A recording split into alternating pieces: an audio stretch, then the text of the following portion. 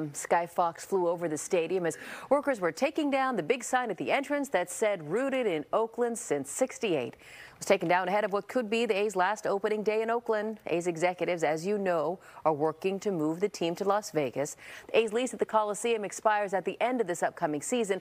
The team is in talks with the Coliseum Authority to possibly extend the lease until a Las Vegas stadium is complete. It is five.